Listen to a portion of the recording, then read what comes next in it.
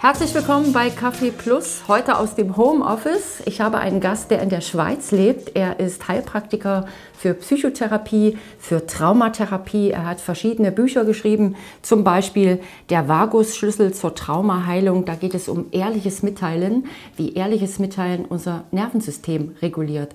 Ein spannendes Thema. Äh, um Ehrlichkeit geht es auch in unserem Gespräch heute. Und ich begrüße recht herzlich Gopal Norbert Klein. Hallo Katrin. Ja, ehrliches Mitteilen. Da möchte ich doch gleich ein paar Fragen zu dir selber stellen. Wir sind beim Du. Wir haben uns am Telefon schon auf das Du geeinigt. Ich fühle mich da persönlich auch immer ein bisschen wohler. Ähm, du hattest mir im Vorgespräch erzählt, du bist schon mindestens 30 Mal umgezogen. Jetzt lebst du in der Schweiz. Ähm, was ist denn für dich Heimat? Ähm, hm, Heimat ist natürlich ein vielschichtiger Begriff. Äh, zum einen brauche ich natürlich wieder ein Mensch auch, ähm, was die physischen Grundbedürfnisse angeht, Dach über dem Kopf, Wärme, Essen und so weiter. Sicherheit, aber Heimat für mich eigentlich ist das, was zwischen uns ist, ja, der Kontakt zwischen uns, das ist für mich die eigentliche Heimat. Das heißt, wenn ähm, ich diesen Raum betrete, der ist zwar immer da im Prinzip, aber der ist eigentlich jetzt, sagen wir mal so, für, für unerleuchtete Menschen wie uns eher nur erfahrbar, wenn wir wirklich einen direkten und vollständigen Kontakt mit einem anderen Nervensystem haben. Und das ähm, passiert eben, wenn wir uns gegenseitig die Wahrheit über unsere inneren Vorgänge sagen. Und dann passiert was mit dem Nervensystem und in der Folge mit unserem ähm, Erfahrungsraum und das ist das, was für mich die eigentliche Heimat ist. Dann äh, fühle ich mich zu Hause. Es hat also nichts mit Orten eigentlich zu tun, wo, wobei ich natürlich ähm, schon am liebsten hier in den Alpen lebe, das stimmt schon. Aber das würde, das würde mir nicht helfen, wenn diese Verbindung nicht möglich wäre zu Menschen. Wenn ich hier alleine isoliert leben würde, da würden mir die Berge auch nichts geben oder nichts nützen. Und umgekehrt ähm, in der schlimmsten äußeren Umgebung, ne, wenn ich da die Möglichkeit habe, mit einem Menschen ganz ähm, verbunden zu sein, dann bin ich zu Hause. Mhm. Also die Menschen sind eigentlich das Wichtige, oder? Oder die Menschen, mit denen man in Beziehung gehen kann. Und, äh, oder wenn man einen Partner hat, wo man sich wohlfühlt, dann ist egal, wohin mit dem man geht, ne? oder? Habe ich das so verstanden richtig? Ja, wir haben halt, unser Organismus hat wie so eine Kaskade an, an Bedürfnissen. Ja? Also ähm, und ich sage mal so, die ähm, Überlebensebene, die ist für die meisten Menschen hier erfüllt. Wir müssen nicht mehr ums Überleben kämpfen. Und direkt nach der Überlebensebene äh, kommt eben die Bindungsebene. Das ist äh, das, was der Organismus als nächstes braucht. Ja. Und das ist aus dem Fokus dieser Gesellschaft ähm, verloren gegangen. Wir gucken da nicht hin und deswegen gibt's große Probleme in der Gesellschaft auf sagen, kollektiver Ebene als auch auf individueller Ebene, weil wir dieses Bedürfnis überhaupt nicht mehr adressieren, weil das ganze System, äh, die Erziehung, die Medien, die Konditionen, alles lenkt uns davon ab. Aber wir können eben nicht glücklich und erfüllt sein, wenn die Bindungsebene, wenn diese Beziehungsebene nicht möglich ist. Na, dann sind wir nur am Kompensieren und am uns betäuben und am Kämpfen. Und das ist im Prinzip das, woraus diese Gesellschaft besteht. Hm. Wie ist denn der Unterschied zwischen den Deutschen und den Schweizern? Also du, ich weiß nicht, ob du bewusst den Weg in die Schweiz gewählt hast oder ob das eher zufällig äh, war. Äh, keine Ahnung, gibt es da Unterschiede? Es gibt auf jeden Fall Unterschiede. Ich habe ja auch schon in anderen Ländern gearbeitet und da ist immer zu sehen, dass es einfach äh, kollektive Strukturen oder gemeinsame Muster tief in den Nervensystemen gibt. Ja. Und an sich, ähm, es ist schwer zu erklären, aber ähm, ich, ich versuche es mal so wie ich es immer mache, weil ich werde es öfters gefragt. Ähm, in Deutschland die Menschen, das ist jetzt eine pauschale Aussage, ja, einfach mhm. die, über die Gemeinsamkeiten, die ich da so wahrnehme. Also die Menschen in Deutschland, die haben relativ schnell Zugang zu tiefen Ebenen, weil sozusagen darüber alles kaputt ist. Die deutsche Gesellschaft hat wenig ähm, oder kaum noch äh, diesen Zusammenhalt in einer Form ausgestaltet, dass der irgendwie schön und stabilisierend ist. Also ähm, das heißt, da ist wie so, der Überbau ist wie so ähm, bröckelig und nicht ausgestaltet. Und deswegen ist der Zugang zu tiefen Ebenen relativ einfach. In der Schweiz ist es äh, anders. Da haben die Menschen den sozialen Austausch, den Zusammenhalt, die Interaktion, das, hm, die Rücksichtnahme und so weiter, dieses, dieses sozusagen normale ähm, Zusammensein, das, das ist hier mehr ausgestaltet und mehr gepflegt und auch schöner sozusagen. Ähm, aber darunter ist eben eben das, was eben nicht gelöst und nicht äh, bewusst ist. Und der Zugang jetzt zu den tiefen Ebenen, mit denen ich ja arbeite und arbeiten muss, der ist hier viel schwieriger. Eben weil einerseits es einfacher ist für die Menschen auf dieser ähm, eher oberflächlichen Ebene noch sowas wie äh, Verbindung und Wohlgefühl zu erzeugen. Ähm, das heißt, man hat da auf eine Art mehr zu verlieren als in Deutschland. Ja, und der Zugang dazu ist, ist teilweise hier relativ schwierig. Da ist also sehr viel Abspaltung, ja, also sehr massiv teilweise und ähm, das ist so der Unterschied. So, also das heißt, auf die eine Art ist der, der Umgang hier mit den Menschen für mich viel, viel angenehmer äh, in der Regel, aber die Arbeit, die ich mache als äh, Therapeut oder als Lebensberater, die ist ähm, deutlich schwieriger. Wenn ich das jetzt richtig aufgefasst habe, würde ich das jetzt für mich übersetzen. Wir Deutschen sind einfach tiefgründiger, wenn wir Freundschaften pflegen und die Schweizer, mit denen kommt man schneller in Kontakt wie in Amerika, aber man kommt weniger gut in die Tiefe oder beziehungsweise die lassen nicht so in sich reinschauen. Habe ich das jetzt so für mich es, richtig Es ist halt verstanden? halt schwierig, das so in so ein paar Sätzen zu sagen. Ich, ähm, ich, ich würde das vielleicht nicht unbedingt machen, weil ähm, es, es ist letztlich arbeitet mit arbeitet man ja geht es immer nur um einzelne konkrete Menschen ja. Und ähm, ist, das hat einfach mit der auch mit der Geschichte zu tun ja das die wie die Menschen konditioniert wurden in Deutschland über nach dem Krieg ne, in der in der ähm, Nachkriegszeit und über die Medien wie das Kollektiv der der Menschen äh, konditioniert wird und das passiert ja im Wesentlichen in der Wachstumsphase ja da werden wir sozusagen programmiert von den Erziehern, von der Schule, von den Medien. Ja. Und das, das ist halt in der Schweiz hier anders, weil die Schweiz hat diesen Krieg nicht erlebt. Ja. Ähm, das hat einfach eine ganz andere Historie und das spiegelt sich eben in den Nervensystemen und in der Psyche und in der Beziehungsfähigkeit und auch in der Art, wie man in Beziehung tritt, wieder. Welche Gefühle werden abgespalten, welche nicht, welche sind integriert, wie geht man mit ähm, Konflikten um und so weiter. Ne? Und äh, das, das hat hier einen anderen Unterbau. Ne? Mhm. Ehrliches Mitteilen ist dein, ist dein Weg oder deine Berufung jetzt äh, den Menschen wieder nahe zu bringen, wo ich mich gefragt habe, ja mein Gott, warum fällt das vielen Menschen so schwer? Ich, ich von mir glaube ich, dass ich eine ehrliche Haut bin, dass äh, ich auch sehr offen kommuniziere, damit auch sehr verletzlich bin, aber Warum können das so viele Menschen nicht über Gefühle sprechen oder überhaupt erst mal zu formulieren, was sind denn meine Bedürfnisse jetzt oder was, was denke ich denn gerade? Also das in Worte fassen, das fällt ja vielen ganz, ganz schwer. Ja, zum einen ist es wichtig ähm, zu sagen, dass ehrliches Mitteilen nicht bedeutet, was du jetzt beschrieben hast. Mhm. Also das, was, das ist das, was man jetzt denkt, weil mhm. ehrliches Mitteilen, dann denkt man ja irgendwie, irgendwie ehrlich sagen, was los ist. Ne? Das ist das aber nicht sondern ähm, es geht dabei im Prinzip um was anderes und das ist eben schwierig zu, zu erfassen, weil das jenseits dieses Verstandes ist.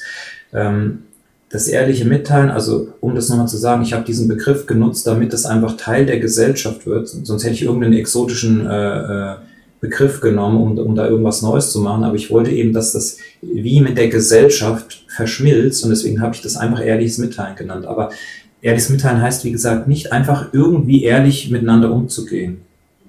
Ja, das, das ist nicht der Punkt, sondern der Punkt ist, ähm, so zu sprechen, dass man mit dem, was man erlebt, nicht identifiziert ist. Das ist das, äh, was ich unter ehrlich Mitteilen äh, verstehe. Und das ist, ähm, wenn man das erklärt, wirkt das sehr komplex, ist aber vom Prinzip einfach, aber das ist für den Verstand nicht zu erfassen. Also es bedeutet, dass man äh, zum Beispiel nicht mehr sagt, als man sagen möchte. Es bedeutet nicht, seine Grenzen zu überschreiten. Es bedeutet nicht, ein Konzept zu verfolgen. Ja, weil wenn ich ehrliches Mitteilen mache, dann kann es sein, dass ich auf das Konzept reinfalle, dass ich glaube, ich muss mich ehrlich mitteilen. Das ist das aber gar nicht. Das, das ist das nicht, sondern das ist kein Konzept, das ist auch keine Strategie, das ist auch kein Weg, das hat nicht mal ein Ziel. Das, das ist Weg und Ziel gleichzeitig. Und es geht auch nicht darum, seine Grenzen, wie gesagt, zu überschreiten, das ist ganz wichtig. Also das Prinzip ist, so zu sprechen, dass man mit dem, was in einem passiert, auf der Körperebene, bei den Gefühlen und bei den Gedanken selber nicht identifiziert ist. Und das führt dazu, dass der andere sich weder angegriffen noch ausgelaugt fühlt, sondern das als angenehm empfindet, was da kommt, und zwar unabhängig von dem Inhalt, auch wenn das was ganz Schlimmes, Furchtbares, Böses ist, das wirkt dann auf den anderen nicht belastend. Und das ist die Magie von dem Ganzen. Mhm. Und um das zu machen, ist es notwendig, dass man vor jedem Satz, den man spricht, eine bestimmte Floskel setzt, die einem mit, von der Identifizierung mit dem, was dann kommt, kappt, dass das löst. Also ganz konkretes Beispiel, wenn ich jetzt zum Beispiel sagen würde, ähm, ich nehme immer das Beispiel, oh, gestern Abend hatte ich ein tolles Abendessen. Ne, das ist so, wie wir reden. Sprechen mit völliger Identifizierung, Gedanken, Erlebnisraum, ich, ist alles ein Brei mhm. und das wirkt aussaugend auf den anderen. Wenn ich aber sage, in meinem Kopf ist gerade der Gedanke an das Abendessen von gestern, dann hat das eine völlig andere Wirkung auf mich und auf den Zuhörer. In dem Moment ist es nicht mehr aussaugend, weil ich nicht mehr damit identifiziert bin, weil ich keine Aufmerksamkeit mehr fordere für die Geschichte, mit der ich identifiziert bin, sondern ich teile einfach mit, was da ist. Und es ist kein Energiesaugen und es ist keine Konfliktinszenierung. Und das machen wir mit allen Ebenen. Ja, zum Beispiel bei der Gefühlsebene sagen wir dann einfach, ähm, ich fühle gerade Freude, ja, oder in meinem Körper spüre ich Wärme oder in meinem rechten Knie spüre ich einen Schmerz. Aber der, das Entscheidende ist das Mitteilen der Gedankenebene, weil da sind wir in dieser Gesellschaft völlig mit identifiziert. Wir haben keinen Abstand zu unseren Gedanken. Wir glauben, dass die Gedanken, die in uns aufsteigen, die Welt draußen und ich, dass das alles eins ist. Das wird von den Menschen als eins erlebt. Und dann sprechen die miteinander und dann fängt das natürlich an zu kollidieren, weil ähm, der eine ist mit der Idee, Idee identifiziert, der andere mit der. Ne? Und dann sind wir auf der Ebene von Ideologien und irgendwann am Ende kommt sogar ein Krieg raus zwischen Nationen. Mhm. Und das hat alles damit zu tun, dass wir keinen Abstand zu den Gedanken haben. Und wenn wir diese Floskel davor setzen im Sinne des ehrlichen Mitteilens, dann lösen wir uns mit jedem Satz von dem Inhalt und dann ist es wie ein Aufwachen auf, auf einer vierten Ebene, weil wenn ich von Gedanken, Gefühlen und Körperempfindungen sprechen kann, muss es ja was Viertes geben, was das alles wahrnehmen kann. Und deswegen führt dieses ehrliche Mitteilen wie zu einer Bewusstwerdung, wie zu einem Aufwachen. Ach so, ich bin weder dieser Körper, weder diese Gefühle noch diese Gedanken. Eigentlich bin ich irgendwas, was das alles wahrnimmt. Man hm. könnte auch sagen Bewusstsein. Also quasi ist man in dieser Beobachterrolle. Ich, ich stelle mir das nur sehr anstrengend vor, wenn ich immer erst sagen müsste, in meinem Bauch geht jetzt das und das vor, mein Kopf passiert jetzt das und das, ich fühle, dass, da habe ich das Gefühl, ich bin gar nicht mehr so, so echt oder so lebendig wie ich. Ich, ich schnattere eigentlich ziemlich schnell und, und äh, mit Mimik und Gestik. Aber das ist wahrscheinlich nur partiell gemeint, ne? dass man sich vielleicht als Mensch mal hinsetzt, wenn man zum Beispiel ein Thema hat oder ein Problem oder im Kollegenkreis und dann dieses ehrliche Mitteilen praktiziert, damit es eben zu keinen Missverständnissen kommt oder zu gewaltfreier Kommunikation oder äh, solchen Sachen. Oder ist das allgemein so, dass ich immer so kommunizieren müsste? Also meine Erfahrung ist, ähm, wenn man das in, in diesem Ritual oder in dieser ritualisierten Form, wie du es gesagt hast, wenn man damit anfängt, ist auch meine Empfehlung, damit so anzufangen, dass man, äh, dass das nach und nach irgendwie automatisch in den Alltag einfließt. Also dass man dann einfach wirklich auch das ganze Geräte, das braucht man dann einfach nicht mehr, weil dieses Geräte ist nur Energiesaugen. Das dient dazu, Emotionen fernzuhalten von uns. Das ist ein Pseudokontakt, weil niemand interessiert sich für diese ganzen Geschichten. Dafür, in Wirklichkeit interessiert sich dafür niemand. In Wirklichkeit interessieren wir uns nur für unsere Emotionen gegenseitig, weil da unsere Bedürfnisse dranhängen. Und das machen wir aber nicht mehr, sondern wir, wir, wir reden, es ist leeres Gerät, die Menschen haben keine Verbindung mehr. Und die reden immer, die reden viel, aber es wird überhaupt nichts mehr gesagt. Ja, gestern habe ich das gemacht, morgen habe ich das gemacht und das finde ich toll. Es ist alles leeres Gerät, was uns nicht verbindet, sondern immer mehr trennt. Und ähm, wir müssen halt nach und nach zu den Emotionen, zum Austausch der Emotionen zurückkehren. Und wenn wir das können, dann wird dieses Ding hier oben ruhig und dann gibt's keinen Bedarf mehr nach Smalltalk, nach Gerede, nach das, das kommt alles zur Ruhe, weil die, tiefst, die, die tiefsten Bedürfnisse sozusagen genährt werden. Und dieses viele Gerede oder auch Körpersymptome, die dann entstehen, ähm, das ist wie ein, wie ein Überlebenskampf. Das ist wie also wenn ich eine Gruppe Menschen treffe oder sehe, die miteinander so im Kreis sich unterhält, ich sehe da lauter Ertrinkende, die um, ums Überleben kämpfen und verzweifelt zappeln und, und nicht wissen, ähm, wie, wie sie mit sich und der Gruppe und ihrer eigenen Not da irgendwie umgehen können. Und es ist immer ein Krieg um Aufmerksamkeit. Ne? Das sind dann einfach Menschen, die verzweifelt um Aufmerksamkeit kämpfen, aber nicht wissen, wie sie mit sich in der, in der Gruppe mit sich umgehen sollen, damit sie alle genährt werden und alles zur Ruhe kommt. Ja. Und dafür habe ich eben das ehrliche Mitteilen entwickelt, damit das genau das passieren kann und zwar noch ohne Spezialist, also dass die Menschen das ohne Therapeuten und Begleitung machen können. Jetzt gibt es ja in der Psychotherapie eigentlich schon eine ganze Menge äh, Therapieverfahren, ne? also lösungsfokussierte Gesprächsführung zum Beispiel. Da geht es auch nicht darum, Probleme zu wälzen oder in der Vergangenheit, sondern wir setzen ein Ziel, schauen auf die Ressourcen oder gewaltfreie Kommunikation oder Hypnose oder es, es gibt un, also unglaublich viel. Ähm, warum braucht es jetzt noch das ehrliche Mitteilen? Es gibt ja auch dieses Tantra, wo, wo sich Menschen berühren, wo sie mehr ins Fühlen kommen und sich mhm. begegnen oder in den Arm nehmen. Da gibt es auch unzählige neuartige Seminare. Warum ehrliches Mitteilen oder warum hast überhaupt warum hast du dich auf den Weg gemacht? Äh, du bist ja selber Heilpraktiker für Psychotherapie und gesagt, nee, es braucht was Neues. Das heißt ja, das, was wir bisher haben und seit Jahrzehnten praktizieren, ist nicht so erfolgversprechend. Ja, man muss ja nur mit den äh, Klienten, Patienten reden. Die machen Jahre und Jahrzehnte äh, Psychotherapie, es kommt nichts mehr raus. Bei vielen wird es schlimmer und natürlich in einzelnen Fällen hilft es auch. Aber wir müssen uns so im Klaren sein, dass unsere gesamte Kultur und Gesellschaft auf der Abspaltung unserer, Kern, unserer Kernemotionen und damit unserer Kernbedürfnisse basiert. Die Kultur und die Welt und die Gesellschaft, in der wir leben, basiert auf dem Abspalten unserer essentiellen Emotionen und damit eben nicht mehr austauschen. So, jetzt wäre es verwunderlich, wenn innerhalb dieses Systems eine Struktur vorhanden wäre, die wirklich hilfreich wäre. Das würde nicht funktionieren. Das ganze System ist in sich schlüssig. Ja, und somit sind im Prinzip alle Institutionen, alle Strukturen, die in diesem Bewusstseinsfeld geschaffen werden, niemals transformieren, sondern die sind letztlich, bewegen die sich alle auf der gleichen Ebene. Und ähm, ich habe ja auch viel Kontakt mit Psychotherapeuten, ja die, das, was da gelehrt wird und was gemacht wird mit den Patienten, das ist deswegen nicht ziel oder nicht wirklich so zielführend, weil eben der eigentliche Kontakt nicht adressiert wird. Ja, ich habe sogar, ich habe mal ein Video dazu gemacht, ähm, wenn ich als Therapeut oder, oder fangen wir mal ganz anders an. Wo kommt die Motivation her, Psychotherapeut zu werden? Die kommt meistens daher, dass damit eine Idee verbunden ist, dass ich mit einer Rolle einen tiefen Kontakt bekomme, ohne dass mein eigenes Traumamaterial aktiviert wird. Das ist der Vorteil von Rollen. Sei es Macht oder Ohnmacht, ne, Opfertäter und so weiter. Ja, und das ist der, der große, ähm, das ist oft die große Motivation, Therapeut zu werden weil ich kann dann sehr viel Nähe, es ist keine wirkliche Nähe, aber ich kann so eine Pseudonähe erleben, ohne dass eben mein Ego gefährdet wird und ohne dass bei mir die, die Post abgeht. Das ist aber genau das Problem, weil wenn ich dann mich ausbilden lasse über Jahre und Jahre und Jahre und mache dann komplizierte Methoden, dann komme ich mit so einem Kopf äh, als Therapeut in meine Praxis. Aber was ich vielleicht nicht wirklich gelernt habe, ist, den Zugang zu meinen tiefsten Emotionen zu öffnen und erfahren zu haben in einer Beziehung mit großer Abhängigkeit, nämlich in der Partnerschaft, dass das alles Raum hat, kommuniziert zu werden.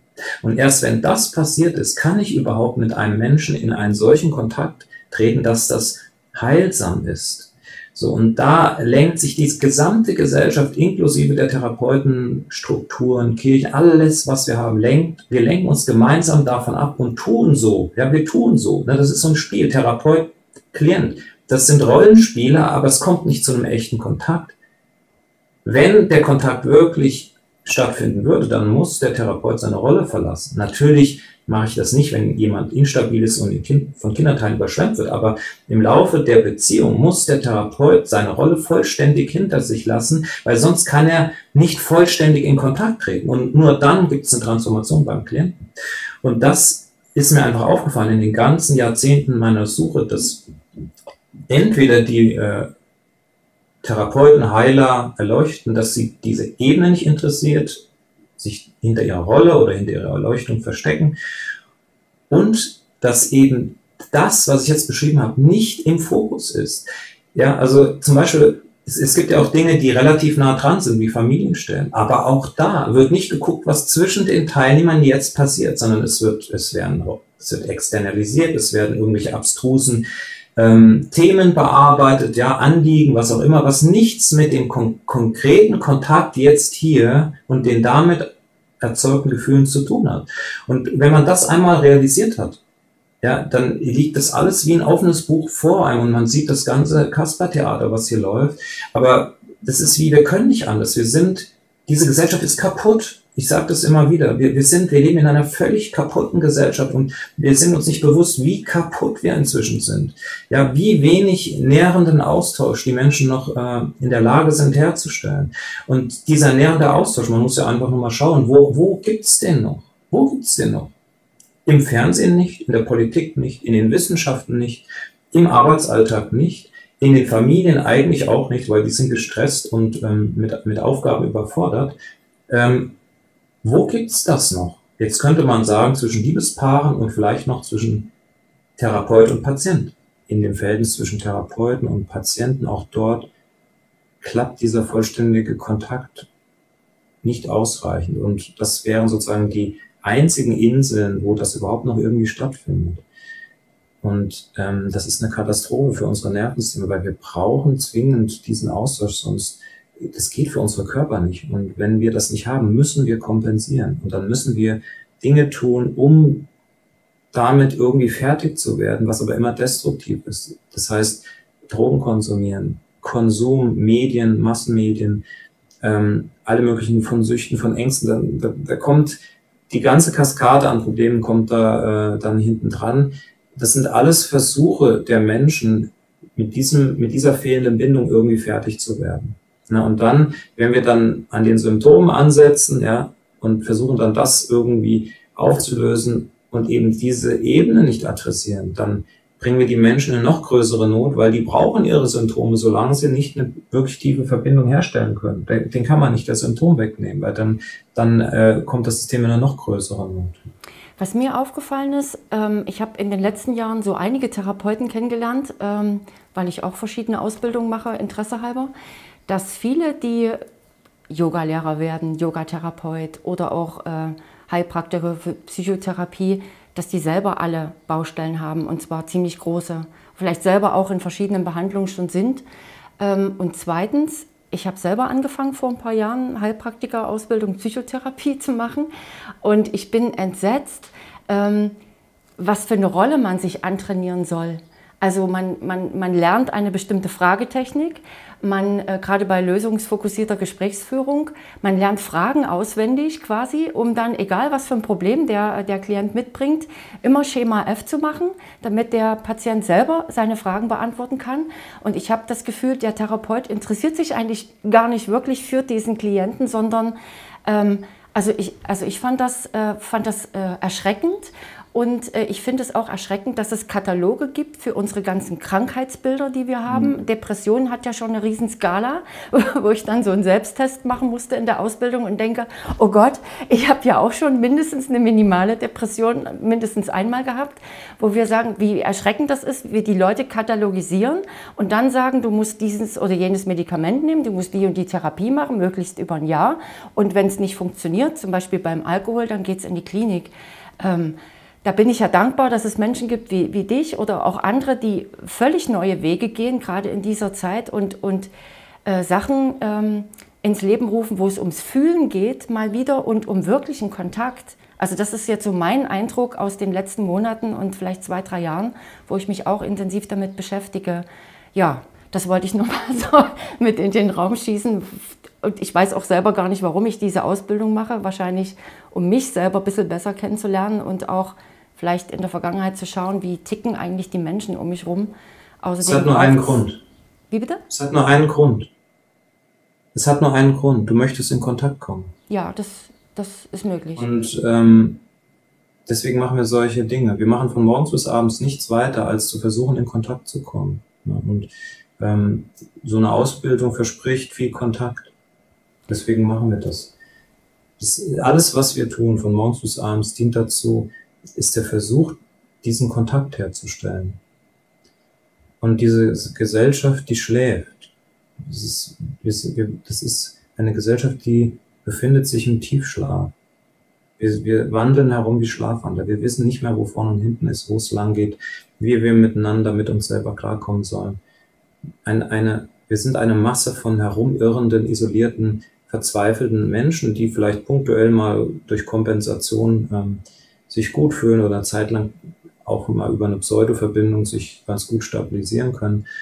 Aber der, der eigentliche Schlüssel, der ist ähm, davon werden wir ferngehalten. Ja, ist, passiert auch ganz bewusst, weil man muss sich darüber im Klaren sein, sollten die Menschen auf die Idee kommen, sich zu verbinden, sich gegenseitig die Wahrheit zu sagen, dann ist Schluss mit Ausbeutung, mit Manipulation, mit Machtausübung, mit Spaltung. Das, das hört dann final auf, das geht dann nicht mehr. Aber wenn man Menschen regieren und ausbeuten will, dann muss man sie spalten. Und mhm. spalten heißt einfach alles tun, ähm, damit dieser Austausch nicht stattfindet. Das kann man machen, indem man äh, Lager bildet, polarisiert. Also in jedem Fall muss, muss der andere als eine Gefahr wahrgenommen werden. Ne? Und wenn ich das schaffe, möglichst schon in der Wachstumsphase, weil da die Struktur im Nervensystem zementiert wird, dann habe ich gewonnen. Ja, also die Machthaber haben in jedem Fall ein Interesse, diese Programmierung in den Heranwachsenden anzulegen, dass andere eine Konkurrenz und eine Gefahr sind. Das ist die Basis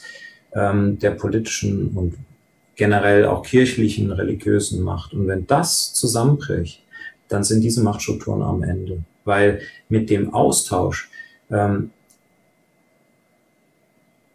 wird eine derartige Kraft frei in den Menschen, ähm, das können sich viele überhaupt nicht vorstellen. Also nicht nur Kraft, sondern es wird, es kommt zu einer immensen Klarheit. Ich kann plötzlich alles sehen, wie, wie, offene, wie ein offenes Buch. Ja, ich muss mich nicht verzweifelt mit diesem kleinen Verstand da abmühen, sondern die Dinge liegen in einer Klarheit vor einem. Das Herz öffnet sich.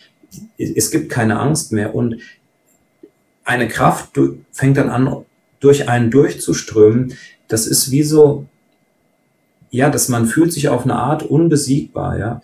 Ähm, und das, davor haben die Machthaber Angst. Zu Recht, ja, zu Recht. Aber das ist nichts Destruktives, sondern das heißt einfach, die Menschen kommen in ihre Kraft, in ihre Autonomie und gleichzeitig aber auch in ihre Liebes- und Verbindungsfähigkeit. Na, und das ist die, die Revolution, die jetzt äh, uns bevorsteht. Und natürlich, das alte System wehrt sich mit Händen und Füßen. Ich würde es aber nicht ganz so düster sehen. Ich glaube, dass es in den letzten Jahrzehnten schon einiges äh, an Bewegung gibt, dass es schon viele, viele Menschen gibt, die sich vielleicht unterm Radar zusammenfinden. Du bist ja nur einer von vielen, die schon richtig gute Arbeit machen, wo sich Menschen vernetzen. Also ich bin selber in Gruppen, die Musik zusammen machen, also Klangreisen und äh, oder die in der Yoga-Szene, da gibt es aber auch zwei verschiedene Lager, das könnte man vielleicht nochmal ansprechen, das fand ich interessant im Buch. Aber einfach Menschen, die wirklich mit einem offenen Herzen sich begegnen oder eben, es, ich habe so ein Institut kennengelernt in Deutschland, das nennt sich Bewusster Leben und Lieben. Da gibt es nur so Seminare, äh, wo es ums Fühlen geht, ne? sich begegnen, da mhm. sind 30 Menschen zusammen im Kreis und es geht darum, wie geht es mir jetzt und man, man, man äh, äh, äh, organisiert ein Setting, wo sich die Menschen sofort wohlfühlen. Da ist ein super schönes Ambiente und dort sind 30 Menschen, wo man am Anfang denkt, oh Gott, das sind alles ganz gebrochene Menschen. Und am Ende dieses Seminars stellt man fest, man ist selber einer davon und hat aber äh, ein paar Tage, wo man sich begegnet, wo man sich wirklich mal anschaut, wo man sich wirklich zuhört und ins Fühlen kommt. Also es gibt schon gibt schon sehr viel, glaube ich. Also ganz so düster würde ich es nicht sehen, dass sagen, jeder ist jetzt so, ich weiß jetzt nicht in Prozenten ähm, gesehen und auch diese Spaziergänge am Montag, die machen auch ganz viel in den letzten Wochen und Monaten, wo Menschen zusammenkommen und merken, sie sind gar nicht alleine und sich eben mhm. begegnen wollen. Und Gott sei Dank äh, lassen wir uns halt nicht mehr alles verbieten, sondern machen es trotzdem. Und dann treffen sich die Menschen im Wald oder privat in den Wohnungen. Und wir sind ja gerade hier im Osten ziemlich clever im äh, Finden von Alternativen. Also das, das ist schon sehr schön. Und ähm, ich kenne Menschen, so bin ich ja eigentlich auf dich gekommen, die mir gesagt haben, ich mache jetzt ehrliches Mitteilen. Das mache ich mit meiner Freundin am Telefon jeden Morgen. Als erstes rufen wir uns an und teilen uns mit, wie es uns geht. Und ähm, ja, vielleicht das als Tipp für andere Menschen. Wie funktioniert es jetzt richtig? Also vielleicht könnten wir mal vielleicht beide in die Praxis gehen oder den Menschen sagen oder zeigen, wie macht man es denn jetzt? Also mhm. dieses, ich empfinde jetzt in meinem Körper das und das vorhin, wo ich gesagt habe, ich finde es zugestellt, aber vielleicht ist es gar nicht so. Ich habe es ja selber noch gar nicht gemacht. Ja, das, das Interessante ist ja zum Beispiel auch, dass bis jetzt keiner der Zuschauer und Zuhörer weiß, was in uns losgeht. Wir wissen es auch nicht, weißt du, das, das ist das, was ich meine. Ja. Wir treffen uns, wir tauschen Informationen aus. Keiner weiß, was wirklich in uns los ist. Weder weiß ich, was, wie es dir, was da in dir los ist. Du weißt nicht, was in mir los ist. Die Zuschauer wissen nicht, was in uns los ist. Also das ist einfach, einfach, um das nochmal bewusst zu machen, dass diese Ebene quasi nie ähm, adressiert wird. Also wir begegnen uns nicht wirklich. Und jetzt, wenn du sagst, ja, lass uns beginnen, genau, dann könnten wir, äh, könnten wir da anfangen. Also ich könnte es ein paar Minuten vormachen, dann könntest du das machen und ich könnte das korrigieren, ne, wenn du möchtest. Okay. Ähm, das, das Ding ist halt, wenn man das macht und korrekt macht, dann kommt es einfach zu tiefen Prozessen. Das ist so. ich bin gespannt, ja. also prinzipiell. Und es ist wichtig, ähm, es ist kein Dialog, ne, sondern der eine spricht und wenn er fertig ist, ist der andere dran. Und wichtig ist auch das Zuhören. Also es geht darum, nicht, dass einer nur redet, sondern das Zuhören ist, sind die anderen 50 Prozent, damit es zu einem Durchfluss kommt. Also wenn der andere nicht zuhört und mit dem Gedanken irgendwo anders ist, dann funktioniert das auch nicht. Sondern was ja in unserem System festhängt, ist das Gehörtwerden unserer inneren Zustände. Das ging als Kind schief. Ne? Und das können wir so nachholen.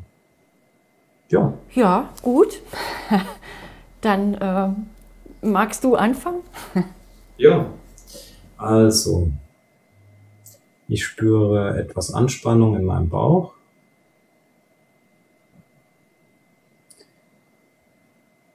Mein Kopf denkt, hoffentlich ist das alles verständlich, was ich hier sage. Mein Kopf denkt, wie viele Zuschauer werden das jetzt hier sehen.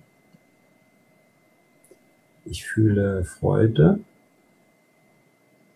Mein Kopf denkt, oh, wie viel Zeit haben wir noch? Ich spüre wieder die Anspannung im Bauch.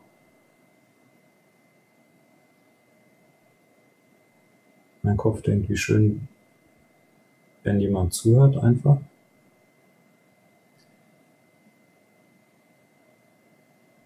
In meinem Kopf ist der Gedanke, dass jetzt keine Emotionen da sind.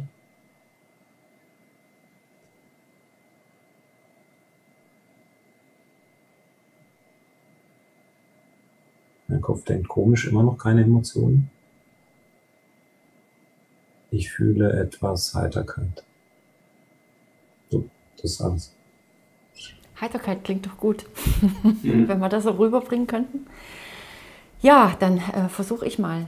Äh, so, ich darf kurz unterbrechen. Das, was du jetzt, diese kleine Mini-Intro, das ist, gehört nicht zum ehrlichen Mitteilen. Ne? Also das ist, wo du jetzt rausgesprungen bist um die eigentlichen Emotionen äh, ausblenden zu können. Ne? Hast gemerkt, dieses, dieses leichte Smalltalk jetzt als Übergang zu dir. Ne? Das mhm. ist, da, damit bist du von dir weggegangen, von den Emotionen. Das ist nicht Teil des ehrlichen Teils. Also ehrlich mitteilen wäre jetzt gewesen, dass du direkt, nachdem ich aufgehört habe, mit deiner äh, Mitteilung beginnst. Ich, ich, ich erwähne es nur, weil uns das nicht bewusst ist. Wir, wir haben da kein, wie so keinen, keinen Fokus mehr drauf. Ne?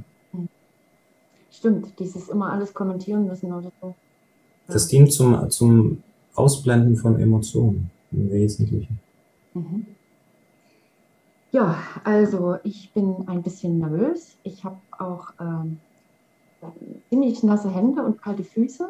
Also ich, ich, ähm, ich muss dich jetzt halt leider unterbrechen, weil das ist, ähm, das funktioniert nur, wenn das absolut hundertprozentig korrekt ähm, gemacht wird, sonst hat es keine Wirkung. Ja? Und ähm, damit es so passiert, ist es absolut zwingend erforderlich, vor jeden Satz diese Floskel zu setzen, die uns mit von der Identifizierung kappt. Weil sonst kommen wir in dieses Geschichten erzählen. Ja, ich habe das und das, meine Hände sind so und so. Ne? Das sind ja alles Gedanken. Mhm. Ne? Und jetzt das nächste, der Zugriff auf Spielsachen, Getränke ist, ist denn, ja, das sind alles Dinge, die uns von uns selber, das sind einfach Tricks des Systems, um den Kontakt zu vermeiden. Ja. Wir bringen ein drittes Objekt rein, entweder ein Mensch oder eine Tasse, ne? Und damit kriegen wir wieder Distanz zu dem anderen, zu uns selber. Das, sind, das ist alles dieses System, was sich versucht, irgendwie stabil zu halten. Also wichtig ist, wenn du es machst, ähm, versuch diese Satzanfänge zu nutzen. Ja? In meinem Körper spüre ich das und das. Okay. Oder genauer sagen, in meinem Knie spüre ich das und das. Ich fühle so und so und so und in meinem Kopf oder mein Kopf denkt das und das und das. Und wenn du das so, wenn du jeden Satz damit anfängst, dann bist du in jedem Fall im ehrlichen Mitteilen. Und sobald Sätze kommen, die so nicht anfangen, dann geht das ins Geschichten erzählen. Und das, und das ist dann das, wo das nicht mehr funktioniert, wo, wo der Kontakt ähm, verloren geht. Mhm. Gut, ich fange nochmal an. Jedes Mal, wenn ich falsch liege, heb doch die Hand, dann mache ich den Satz nochmal neu. so, das ist jetzt wieder etwas, ne? Hast du gerade gemerkt? Diese Einleitung ist wieder dasselbe. Mhm. es, ist, es, ist, es ist nicht notwendig. Ne? Und das meine ich, wenn, wenn, wenn wir das korrekt machen und ich zwinge dich jetzt auf eine Art, dann, dann kommt es zu Prozessen. Ne? Und okay. Gut. Mein Körper äh, fühlt sich unruhig an. Mm, in meinem Bauch, äh, das fühlt sich wie so eine Waschmaschine an. Mm, meine Füße fühlen sich kalt an.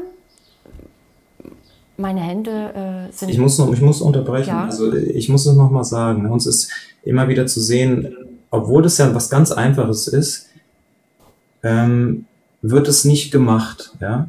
Also es ist wichtig, die Körperempfindung mit ich spüre zu beginnen, um die Ebene, also explizit die Ebene zu benennen. Ich spüre für alle Körperempfindungen. Ne? Ich fühle für die Emotionen. Und mein Kopf denkt das oder mein Kopf denkt was auch immer für die mentale Ebene. Ja, also wir benennen damit die Ebenen und das hilft uns auch selber, äh, uns davon zu lösen. Und jedes Mal, wenn wir abweichen, ähm, hat es dann, dann ist es wie ein normales Gespräch und dann hat es eben halt diese Wirkung nicht. Ja, ich, sorry, ich muss es ist nicht schlimm. So ich kann es halt nicht, also, aber so geht es vielleicht anderen auch. Gut. Also ich äh, spüre, dass mein Kiefer äh, ein bisschen angespannt ist. Ähm, ich spüre äh, eine innere Unruhe, aber auch ähm, Freude, dass wir das machen. Ähm, äh, das würde jetzt bedeuten, ich fühle Freude. Ne? Und es braucht keine Freude. Begründung und keine Erzählung dahin dran. Einfach, ich spüre Unruhe im Körper, ich fühle Freude. Ne? Mehr ist nicht notwendig. Äh, mein Kopf denkt ähm, gerade ziemlich viel. ähm,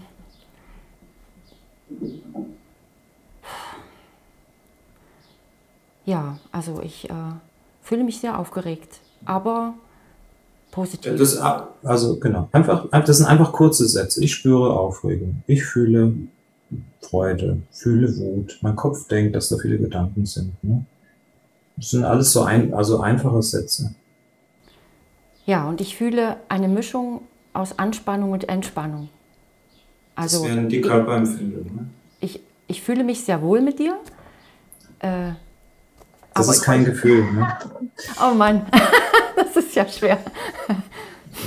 Wir sind, wir sind das halt nicht gewöhnt. Also Gefühle sind zum Beispiel Freude, Trauer, Wut, Eifersucht. Das ist die Ebene von Gefühlen und das würde man einfach so in einem einfachen Satz sagen. Ich fühle Freude, ich fühle Wut, ich fühle Verzweiflung, ich fühle Einsamkeit, ich fühle Trauer. Das ist die, die emotionale Ebene. Das sind so einfache Sätze.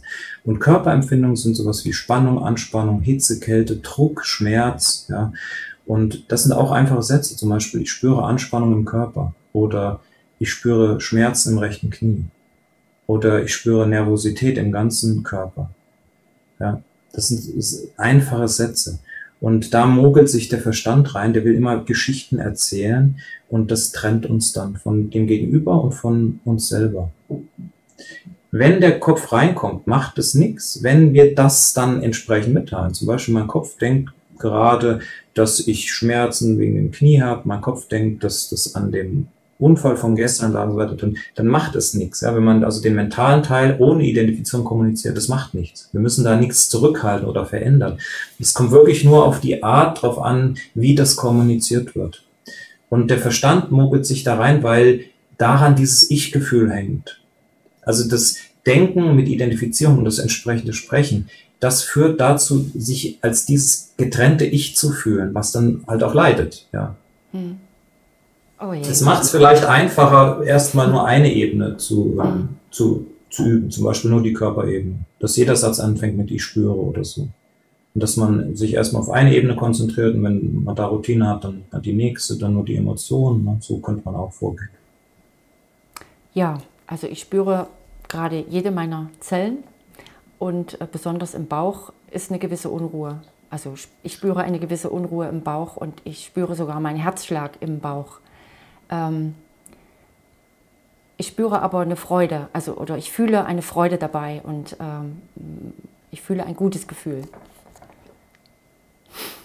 Ja, ist schon anders, ne? Mhm. Es fällt mir bloß schwer, wirklich die richtigen Worte zu finden und mich nicht immer wieder in die Ablenkung. Also ich bin wirklich ein Talent der Ablenkung. Ja. Mhm. Und dann kommen, wenn du das machst, dann kommen sehr tiefe Emotionen. Ja? Also tiefe Traurigkeit oder sehr viel Wut. Ne? Das, das halten wir damit fern von uns selber und auch vor anderen. Okay, ich weiß jetzt nicht, ob ich in die Tiefe noch weitergehen möchte, aber ich habe es, glaube ich, verstanden. Mhm, ähm, cool. Mm, und ja, es ist dann so, wenn ich, glaube ich, sehr ehrlich bin, kommt dann die Traurigkeit oder die Wut oder eben man kommt dann irgendwie an, an Punkte, die vielleicht ein bisschen schmerzhaft sind. Und jetzt ist ja die Frage, wie kann man das trainieren? Wie kann man das üben?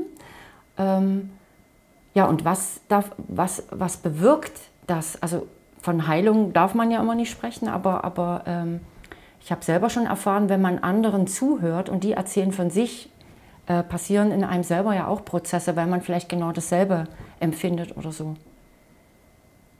Also das Einfachste ist, sich einer lokalen Gruppe anzuschließen. Die es gibt jetzt hunderte, auch weltweit quasi, gibt es immer mehr. Und da hat man jedenfalls Menschen, die das auch wollen. Da kann man das üben.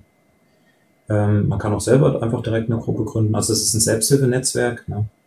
Ähm, findet man auf meiner Homepage, kann man da gucken oder auch einfach im Internet googeln. Es gibt auch Telegram-Gruppen dazu. Also das Beste ist, jemand erstmal zu suchen, der das auch möchte, der das auch üben möchte. Ähm, dann ist es natürlich wichtig, äh, das in der Partnerschaft zu machen, ähm, weil sonst, also wenn man in der Partnerschaft glücklich ist, braucht man, braucht man nichts ändern, ne? aber die meisten sind ja nicht glücklich und das ehrlich mitteilen hilft uns dann eben, dass die Partnerschaft überhaupt erstmal wirklich, ein, ein, dass das überhaupt erstmal wirklich losgeht und in die Tiefe geht. Und dann kann es natürlich sein, dass sich herausstellt, ähm, mein Partner, mit dem ich vielleicht seit 20 Jahren verheiratet bin, der hat gar kein Interesse an mir. Der will gar, der will das gar nicht. Das dann kann sehr schmerzhaft sein. Allerdings ähm, verlieren tut man nicht wirklich was, weil es war noch nie was da. Es war kein noch nie wirklicher Kontakt und äh, tiefe Verbindung da. Also verlieren, verlieren tut man nichts, aber man verliert die Illusion oder die Hoffnung ja, dazu, darauf. Ähm, es bleibt uns aber nichts anderes übrig. Wir müssen äh, damit anfangen, weil es uns unsere eigene Transformation nicht losgeht. Und was man in jedem Fall sagen kann, das führt zu einer Regulation, einfach weil Eindrücke von Sicherheit in das System kommen. Und diese Regulation, also man kann sagen, könnte sagen Entspannung im autonomen Nervensystem, da kann es dann sein, dass dann auch äh, Symptome verschwinden. Ja, man kann es nicht versprechen. Es geht auch gar nicht drum. Es geht nicht drum, dass sich was ändert. Das ist eben das Paradox. Das ist was, was der Verstand nicht verstehen kann, dass ehrliches Mitteilen überhaupt kein Ziel hat. Das ist nicht mal ein Weg. Es geht überhaupt nicht drum, irgendwas zu ändern sondern nur um das Mitteilen dessen, was da ist. Und ob sich dann was ändert oder nicht, das ist überhaupt nicht mehr der Punkt, wenn ich alles mitteilen kann. Das ist, das versteht der Verstand nicht. Ja, das kann man nur erleben oder, oder erfahren. Ich kann mir das ganz schwer vorstellen. Also wenn ich jetzt zum Beispiel einen Partner kennenlerne oder jemand Neues vielleicht kennenlerne und dann setze ich mich mit ihm hin und äh, praktiziere ehrliches Mitteilen und ich sage ihm, so wie ich es in der Buch gelesen habe, ich habe Angst, dass du mich verlassen könntest. Ähm, oder, das wäre ähm, kein, wär kein ehrliches Mitteilen. Ich, ich müsste das dann, ich, ich fühle oder ich spüre oder ich, ähm, also, ich spüre die Angst in mir, dass ja, du mich verlassen ja. könntest. Ja, nee, dann, das, so, das funktioniert, das, das funktioniert einfach nicht. Wie, wie, wie, gesagt, das sind alles ganz simple, einfache Sätze, keine verschachtelten Sätze mit Erklärung und noch Geschichten hinten dran. In meinem Körper spüre ich Angst, in meinem Kopf ist die Idee, dass du mich bald verlässt. Mhm. Zum Beispiel. Das hat eine andere Wirkung, als wenn ich, die, wenn ich das so in, in diesen verschachtelten Geschichten, Erzählungssätzen mache. Das hat eine, eine andere Wirkung auf das Gegenüber. Ja, und da frage ich mich, ob man dann jemand gerade in einer neuen, also wenn man neue Menschen kennenlernt, ob man die nicht verschreckt. Also, ähm, weil wenn, wenn jemand gesagt kriegt, ich äh, spüre die Angst, äh, oder in meinem Kopf ist der Gedanke, dass du mich verlassen könntest, dann ist der andere, denke ich so, in der Erklärungsnot, nein, ist nicht so oder ja, natürlich, nichts ist sicher in dieser Welt oder so. Also das ist so, ich weiß nicht, ob, ob der andere die Wahrheit aushält ne? oder ob ich die Wahrheit aushalte, wenn, wenn mir jemand ehrlich gegenüber ist. Ja, man äh, erfährt sofort, ob jemand beziehungsfähig ist oder nicht, in welcher Ebene das erreicht und äh, dann weiß man sofort, wo man dran ist. Ne? Das heißt, derjenige wird dann, äh, da, äh, jemand, der beziehungsfähig ist, wird es als sehr einladend empfinden und sofort mitmachen und jemand, äh, für den das zu viel ist, der wird sich entfernen oder vielleicht eher wütend reagieren und dann entfernen. Ne? Man weiß sofort, äh, was Sache ist. Es ist sehr effizient, aber man kann auch vorsichtiger vorgehen und erstmal abfragen, ähm, hast du Lust, dass wir uns ehrlich austauschen, ne, wenn man sich ein bisschen kennengelernt hat. Ähm, sollen, sollen wir uns nicht mehr mal unsere Gefühle mitteilen? Ne? Das kann man wie so stufenweise machen und dann wird ab irgendeiner Stelle äh, wird dann der andere sozusagen eine Distanzierung vornehmen, wenn er da nicht mitgehen kann. Ne? Das ist dann nicht so, dann kriegt man die Wahrheit nicht so direkt äh, präsentiert. Ne? Aber dann hat man halt vielleicht auch ein bisschen Zeit verschwendet mit jemand, äh, der, wo dann erst nach zwei Wochen rauskommt, der ist überhaupt nicht beziehungsfähig. Ja, und der hat auch gar kein Interesse vielleicht daran. Ne? Mhm. Das, das kann jeder für sich selber ähm, entscheiden, aber ähm, das Direkteste mit dem, mit der Welt umzugehen, ist die Wahrheit zu sagen. Ja, und das sind wir halt auch wiederum nicht gewöhnt. Das, da, ist das Ego, das hat Angst, ne, dass wieder was passiert, was in der Kindheit passiert ist. Ne, zum Beispiel das, was du jetzt gesagt hast, ist einfach eine Projektion der, des kindlichen Beziehungsgefüges, ne, und dass dann angeblich was Schlimmes passiert, wenn der mich sofort verlässt und so weiter. Das ist ein ganzes Universum da hinten dran. Ähm, und mit dem ehrlichen Mitteilen löst sich das alles auf. Und dann tauchen auch nur noch Menschen auf, die auf dieser Ebene eben sich bewegen können, weil man hat überhaupt keine Resonanz mehr zu, zu Menschen, die nur in Pseudo-Bewegungen da äh, äh, sich unterwegs sind, die, die tauchen einfach nicht mehr auf. Also die verlassen das Feld automatisch. Also ich war selber erstaunt, äh, wie viele Freunde mich dann verlassen haben. Oh, ich wollte das gar nicht. Ja? Die haben sich von allein verabschiedet.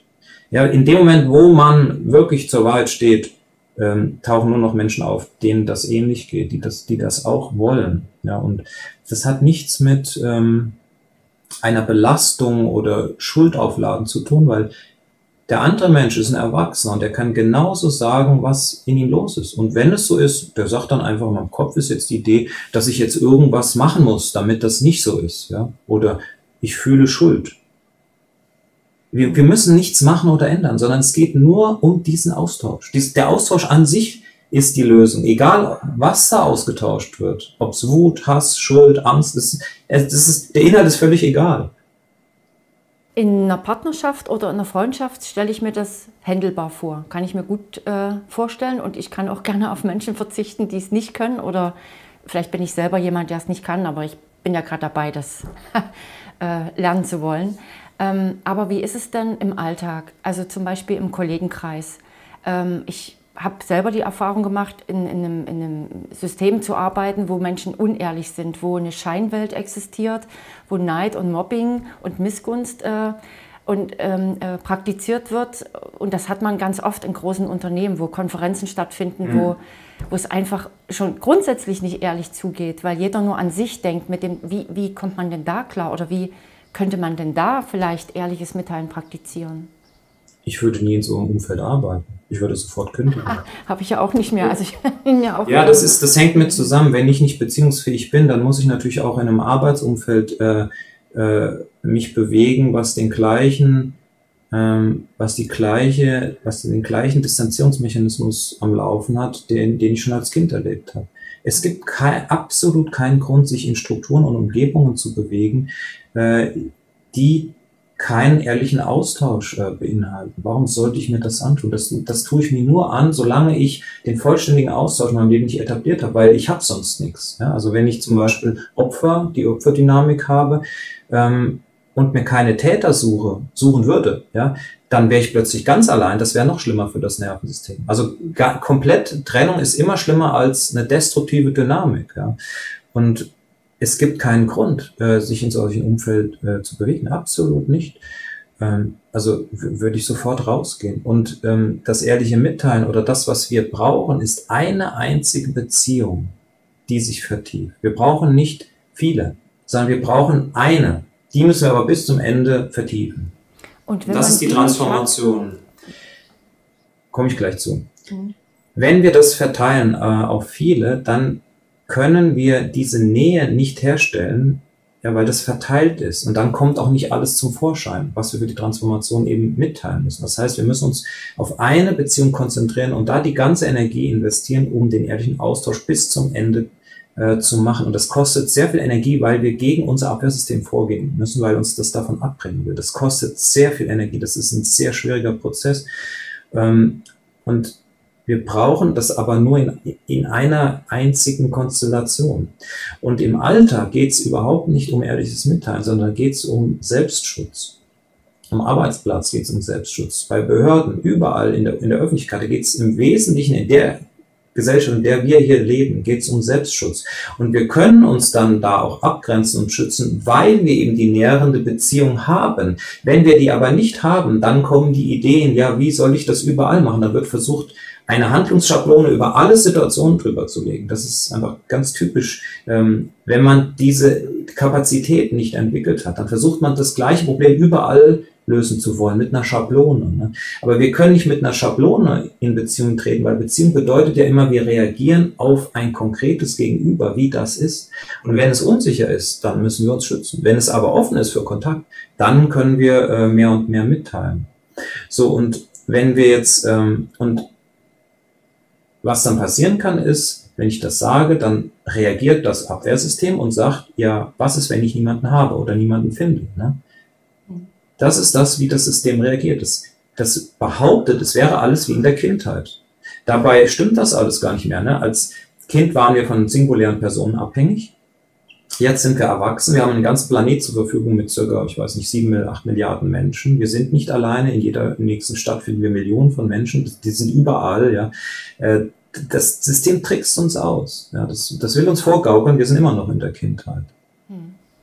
Also angenommen, ich bin eine Person, die halt keinen Partner hat, die vielleicht kein besonders offenes, ehrliches Verhältnis zu den Eltern hat und der Freundeskreis ist auch vielleicht eher oberflächlich.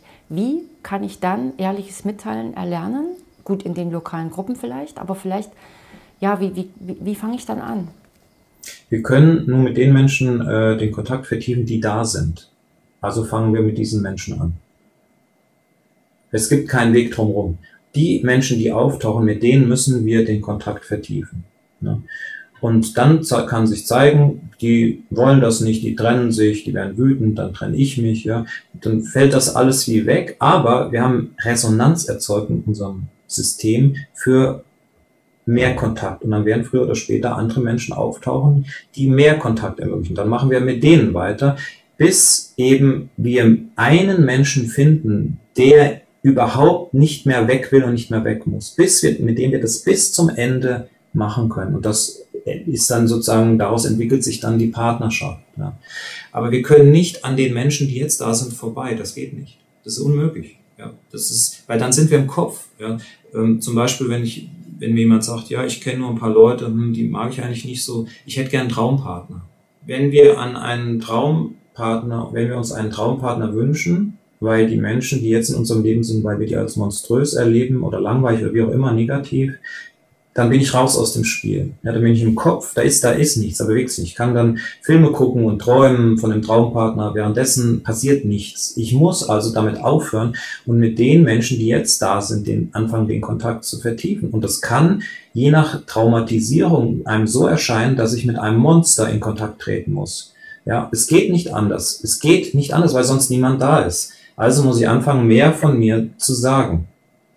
Das ist Kontaktvertiefung. Ne? Und dann kann es sein, dass das wie in der Kindheit ausgeht mit Trennung oder mit Konflikten und so weiter. Das nützt nichts. Wir müssen das machen und dadurch, wie durch die Hölle nochmal durch. Und aber wir kommen da raus. Also das ist wie, das sind Gesetze, die wirken wie, das ist wie Mathematik, das ist absolut präzise. Wenn ich das so mache, und mehr Resonanz erschaffe durch mehr Kontakt, dann reagiert das Universum automatisch. Und andersrum, auch um das, das Beispiel auch noch zu nennen, jetzt in dieser Konfiguration, wenn das Universum mir diesen Traumprinz reinbringen würde, das würde derjenige überhaupt nicht aushalten. Das heißt, er würde dann selber sich distanzieren und trennen und Konflikte, was auch immer. Das würde das nicht aushalten. Ich muss also durch die Dämonen durch Ja, bis ich die Kapazität überhaupt habe, ähm, mit diesem Partner das überhaupt auszuhalten, diese Form von Nähe, weil je mehr Nähe ich habe, desto mehr Material wird aufgeschwemmt. Und das muss dann wieder durchgelassen werden. Und das ist, ja, das ist ein, ein Prozess. Das geht nicht einfach so. Ich habe ja bisher immer gedacht, wenn man selber verletzt ist, wenn man vielleicht verschiedene Schicksalsschläge hat oder Trennung oder irgendwie mit den Eltern Probleme, ist vielleicht das Beste, man zieht sich mal eine Weile zurück. Äh, das machen ja auch viele, gehen in, in ein Kloster oder meditieren oder, oder äh, gehen mal in den Wald eine Weile. Ich fand das bisher auch eine gute Idee, habe mich selber auch gerade zurückgezogen und, und äh, praktiziere Vipassana. Und ich denke, für mich ist das ein schöner Weg, zur Ruhe zu kommen, den Kopf ruhig zu kriegen, um dann vielleicht wieder an eine Kraft zu kommen und in eine nächste Begegnung gehen zu können. Bei dir lese ich, dass das gar nicht der richtige Weg ist. Also dass Spiritualität, dass das eine Flucht ist. Ja. Ähm, das fand ich interessant, diesen Aspekt, äh, das mal so zu sehen und äh, dass man eigentlich erst in die, in die Stille gehen sollte, wenn man eigentlich aufgeräumt ist und äh, ruhig im Kopf es, schon ist. Es gibt überhaupt keinen Grund, in irgendwelche Stillen zu gehen. Es gibt überhaupt keinen Grund, von den Menschen wegzugehen. Wir gehen nur von den Menschen weg, wenn wir es nicht schaffen, das, was in uns ist, mitzuteilen. Und dein Weg, das ist einfach, wir stellen Distanz her, um das System zu stabilisieren, weil wir die Kapazität nicht haben, das, was da ist, zu kommunizieren. Also ist das so ein Hin und Her. Ne? Da gehe ich weg, dann versuche ich es wieder, dann gehe ich wieder weg.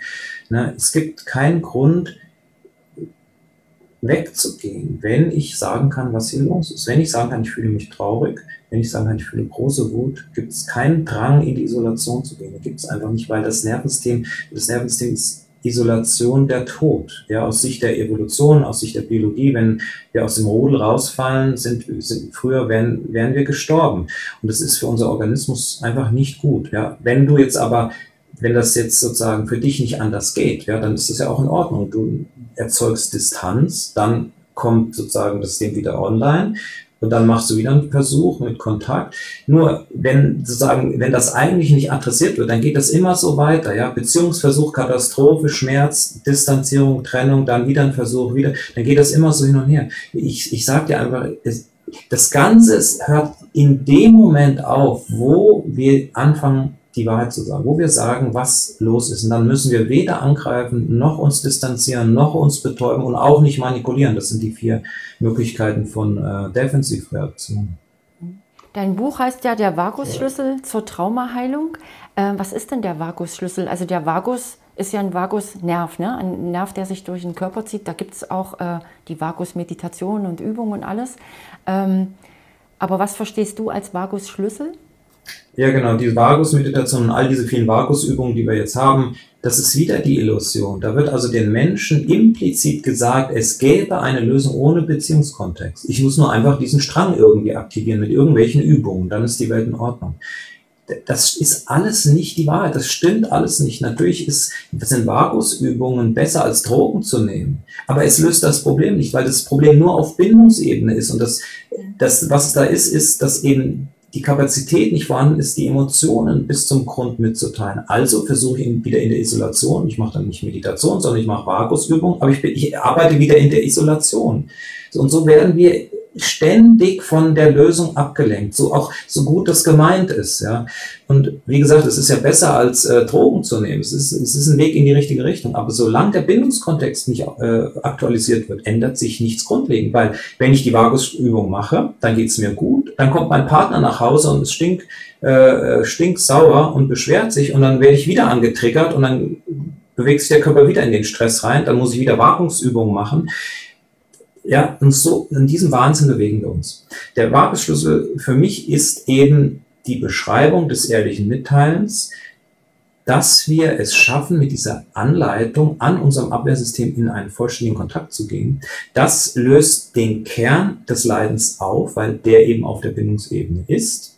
Ja, und das hat zur Folge, dass der Vagus anspringt und der Körper und das autonome Nervensystem in die Regulation kommen. Das ist der Vagusschlüssel. Ja. Das hat nichts mit ähm, Übungen an dem, an dem körperlichen Aspekt direkt zu tun. Überhaupt nichts. Aber ich habe das, wir haben das Vagusschlüssel genannt, einfach ähm, um das eben auch mit reinzubringen. Ja, das, das, es geht um diesen Vagus für den Körper. Es geht, für den Körper geht es nur um diesen Vagus. Aber ich kriege das nicht direkt hin. Ja? Es heißt ja auch autonomes Nervensystem. Ich muss indirekt die Ursache adressieren, warum der eben nicht anspringt. Ja? Das wäre wie so, wenn das Auto, wenn, wenn es raucht, ne, Motor ist irgendein Schaden, das raucht, und ich versuche jetzt ständig den Rauch einzufangen. Ja? Der Motor wird nicht repariert, der Rauch wird eingefangen. Das, das ist das, wenn man Vakusübungen isoliert macht. Wenn man äh, ein bisschen über dich recherchiert, und das kann man ja, es gibt ja schon eine Menge Interviews, auch äh, bei uns bei Neue Horizonte mit Götz Wittneben, da hast du deine Biografie auch ein bisschen äh, noch erzählt. Du hast ja selber weiß ich nicht, 30 Jahre lang Therapien gemacht. Ähm, wie bist du denn selber auf dieses ehrliche Mitteilen gekommen? Also wie hast du denn den Vagus-Schlüssel gefunden und gesagt, das ist es jetzt und das gebe ja, ich jetzt weiter? Ja, das, das ist eine komplizierte Geschichte. Einerseits ähm, habe ich in meiner Partnerschaft das Problem gehabt, dass ich mich immer zurückziehen wollte oder musste und irgendwie, ich habe einfach überlegt, ich habe dann irgendwann es mal geschafft, das auszusprechen. Also statt immer Ausreden, du, ich habe jetzt auch einen Termin und ich muss weg und an dem Wochenende kann ich nicht und so weiter, habe ich irgendwann das geschafft, das mal auszusprechen. Du, jetzt kommt schon wieder, ich habe jetzt schon wieder das Gefühl, ich muss, ich muss weg, ja. Und da hat was in meinem System Klick gemacht. Weil da gab es eine Erleichterung und dieser Druck des Auszugehens ist dann weggefallen. Und ähm, ich habe dann im Laufe der Zeit auch meditiert und gebetet, unabhängig davon, einfach nach einer Lösung für diese Gesellschaft, für die Menschen, dass sie sich helfen können ohne Therapeuten, weil wir die, dieses Modell Therapeut lernen funktioniert einfach nicht. Ja, wir kriegen nicht genug Therapeuten. Niemals. Dieses Modell funktioniert nicht für diesen Planeten. Wir brauchen für diesen Planeten ein Modell, wo sich Menschen miteinander ohne Spezialist ähm, transformieren können. Und da habe ich lange über Monate meditiert und gebetet und dann ist es als Gesamtpaket in so einem Download in meinem Geist erschienen. Dann habe ich das einfach in die Welt gebracht. So wie, wie viele Videos. Das ist all, im Prinzip alles nur gechannelt. Und das Lustige ist ja, ähm, ich habe dann schon Vorträge äh, gehalten und so weiter. Da gab es schon über 100 Gruppen und ich habe das selber noch nie erfahren. Mhm. Also so ist es halt, wenn man äh, so ein, wenn man das bekommt, dann bekommt man wie auch den Erlebnisraum dazu. Das ist dann so, als hätte man das alles schon erfahren. Und deswegen kann man dann auch darüber referieren und auch ja, Seminare halten. Aber ich habe dann irgendwann hat mich jemand eingeladen, du äh, gesagt, Opa, mach doch mal, mach doch selber mal mit. Ja, und dann habe ich selber mitgemacht, aber völlig verblüfft von der Wirkung. Da wusste ich, ja, es ist genau so, wie es runtergeladen wurde, wie ich es verbreitet habe. Es ist genau so und so wirkt es auch. Und so hat sich das dann weiter verbreitet. Eigentlich braucht es ja nur Mut, oder?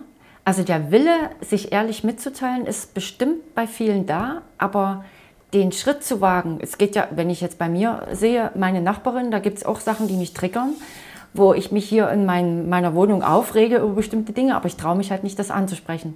Ist ja auch nicht sicher, Nachbarin. Ist, Nachbarin ist nicht sicher. Es geht immer darum, dass wir in einem sicheren Kontext damit beginnen. Weil wenn wir Dinge von uns mitteilen, die aus der Kindheit stammen und wir kriegen wieder eine negative Reaktion, dann ist das zwar keine Retraumatisierung, aber das ist nicht förderlich. Ja, dann wird es noch schwieriger, das zu beginnen. Deswegen müssen wir vorsichtig sein und uns einen sicheren äh, einen sicheren Rahmen suchen. Und sicher sind immer Menschen, die ebenfalls ein Interesse an einer Beziehungsvertiefung haben, wo wir das wissen. Und das müssen wir im Zweifelsfall vorher abklären. Partner, Freunde, Therapeut, ja, das müssen wir abklären. Hast du Lust und die Bereitschaft, dich tiefer auszutauschen. Und dann können wir anfangen. Und es hat, wie gesagt, es hat nichts mit Mut zu tun. Wir brauchen keinen Mut. Es geht nicht darum, die Grenzen zu überschreiten. Das sind alles diese Konzepte vom Kopf. Es muss nichts ändern. Es ist zum Beispiel die einfachste Variante äh, des ehrlichen Mitteilens, die funktioniert und korrekt wäre, wäre, in meinem Kopf ist der Gedanke, ich möchte nichts von mir mitteilen. Hm.